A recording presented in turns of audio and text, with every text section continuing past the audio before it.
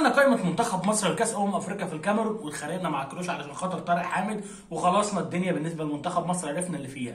المنتخب المغربي أعلن القائمة رسميا وخلاص اتخانقنا مع سيد وحيد خلوزيتش بسبب حكيم زياش ونصير مزراوي وخلاص عرفنا اللي فيها. دلوقتي حان موعد بطل افريقيا منتخب الجزائر علشان نشوف القائمه المحتمل استدعائها لأن السيد جمال بالماضي حتى الآن لسه ما طلعش القائمه الرئيسية للمنتخب الجزائري لكن القائمه بتاعت منتخب الجزائر لو سألت أي صحفي من الناس اللي ما عندهاش مشاكل مع بالماضي وقلت لهم القائمه بتاع منتخب الجزائر مين هيقول لك 1 2 3 4 5 هيعد لك ال 23 لعيب أو ال 28 لعيب اللي هيكونوا موجودين مع المنتخب الجزائري في تصفيات امم أفريقيا لأن إحنا مش عارفين حتى الآن الوضع بالنسبة للاعداد هيبقى عامل إزاي لأن بيقال إن في لعيبة هتنضاف بحيث حالات الكورونا لا قدر الله تحصل لأي فريق في البطولة ففي لعيبة هيكونوا احتياطيين موجودين ومش هيكونوا مشاركين إلا لو لعيب حصل له أي حالة لأن ما حدش فاهم البطولة تتلعب في ميعادها ولا لأ لأن في مشاكل كتيرة جدا بدأت تضرب الدوري الإنجليزي الدوري الإنجليزي اللي حتى ليفربول اللي ما كانش بيقدروا إن هم ياجلوا يأجلوا ماتشات لليفربول أجلوا ماتشات لليفربول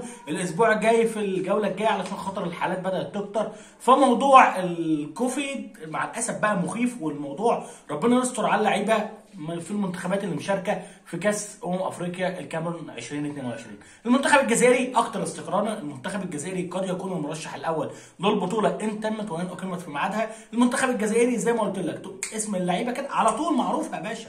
هتقول حراس المرمى عندك رئيس وهاب مبولحي ألكسندر أوكوجيا ومصطفى زغبة.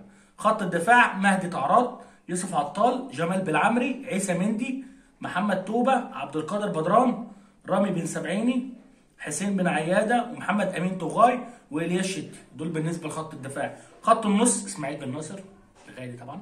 أدم زرقان سفيان بن دبكة رامي الزروكي. وأعتقد إن إسماعيل بن ناصر والزروكي ممكن يلعبوا أساسيين على أي حد في البطولة كلها مش على الناس اللي موجودة بس في المنتخب الجزائري. سفيان فغولي حارس بلقبلة فريد بول بولية بولايه خط الهجوم إسلام سليماني سعيد بالرحمه بغداد بنجاح ولدنا محرز آدم والناس ياسين إبراهيمي يوسف البلالي محمد الأمين عمورة. أعتقد إن الإضافة الوحيدة بالنسبة للفرقة هو ياسين إبراهيمي لأن ياسين إبراهيمي أنا ما شفتوش الفترة الأخيرة مع المنتخب الجزائري بقيادة السيد جمال بالماضي بس أتوقع إن اللي حط القائمه دي متوقع انضمام ياسين إبراهيم على إني بصراحة مش متوقع إن هو يحط ياسين إبراهيم لأن المنتخب الجزائري بدأ يعتمد على فكرة الشباب أكتر لأن الريتم السريع في الملعب بيشكل مشكلة للعناصر الكبيرة في السن. حتى سفيان فغولي آخر ماتشات للمنتخب الجزائري كنا شايفين إن الريتم أعلى منه بكتير. ففكرة إنك تغير سفيان فغولي وتحط كمان ياسين ابراهيمي مهما قدم بطولة كأس العرب كويسة بس أعتقد إن السيد جمال بالماضي كان بيبص على بطولة كأس العرب من ناحية ثانية إن إحنا والله كده كده الفرقة معروف العناصر الأساسية بتاعتها ومعروف إن إحنا بنشتغل على شغل ال 4 2 4 وبنشتغل على 4 2 3 1 وتحويلها فمفترض إن أنا بشتغل مع لعيبة في أضيق الحدود غير إن هو عارف مين اللعيبة اللي هو جايبهم. أتوقع إن اللي حط التشكيله دي زي ما قلت لك هو الوحيد اللي ممكن يقلش منه هو ياسين إبراهيم. لو أنت شايف إن ياسين ابراهيمي بعد المستوى الخرافي اللي قدمه في كأس العرب لو أنت شايف إن كأس العرب مقياس وإنك ينفع تقيس إن كأس العرب اللعيب اللي كان موجود مع الجزائر واللي فازوا بكأس العرب ينفع انه يكون موجود مع المنتخب في كأس أمم أفريقيا اللي هتكون أقوى بكتير جدا من كأس العرب. أنت بقى شايف إيه يا برو؟ أنا شايف بصراحة إن القائمه دي ممتازة جدا وفيها لعيبة مميزة وتقدر تقول كده تشكيله المنتخب الجزائري قبل المباريات الموضوع هيبقى معروف ودي أكتر سمة بحبها في الجزائر جمال بالعمري. جمال بالماضي آسف. بالعمري كله جمال.